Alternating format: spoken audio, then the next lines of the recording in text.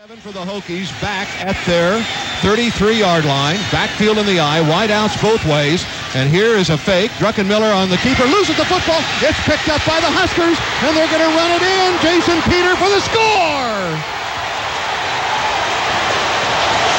And the Black Shirts answer the bell one more time, and that play was caused by Mike Rucker. Michael Rucker put the pressure on the quarterback to cause the errant pitch. The Huskers all week. They said, hey, sometimes this guy is not very efficient in what he does with respect to the pitch. We can bat it away. That time the ball was not batted away, but because of the pressure over there, it was it was a bad pitch. And again, the Huskers pick it up and put it in the end zone. Jason Peter, the man of the hour right now for the Big Red, as Nebraska now takes a 16 to 7 lead. The Hokies. And Kris Brown is in to try the point after.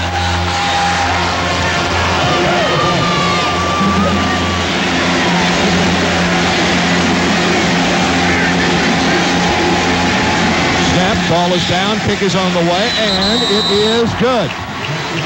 So we have got a timeout on the field with 3.36 remaining in the first half of the Orange Bowl.